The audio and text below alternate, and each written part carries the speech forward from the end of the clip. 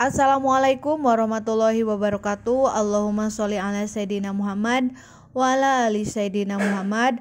Alhamdulillah kita masih bisa dipertemukan lagi untuk melanjutkan pertemuan selanjutnya yaitu Ikro 1 halaman 8. Nah, teman-teman, apakah sudah hafal? Huruf yang sebelumnya a, ba, ta saja Nah, untuk melanjutkannya kita terlebih dahulu membacakan ta'ud dan basmalah minasyaitonirrajim. Bismillahirrahmanirrahim. Ja. Nah a. Ja. Ja. Nah itu huruf ja ya. Itu sa a ja. A ta ja. Sa ba ja ba ja sa. Sa a ja.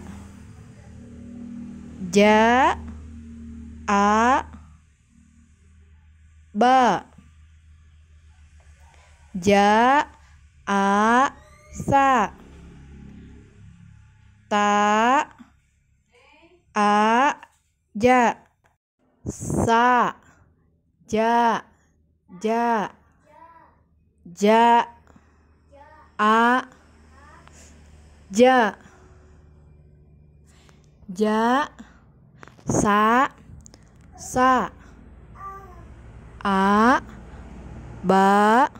Ta. Sa. Ja. Nah biar lebih paham kita ulangi lagi ya teman-teman. Ja. Oke. A. Ja.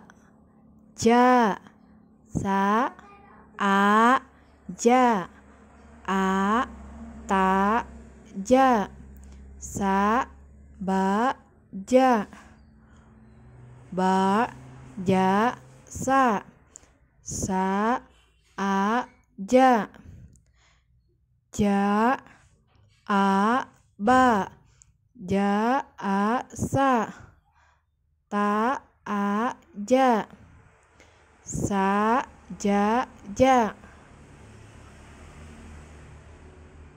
Ja a ja. Ja sa sa.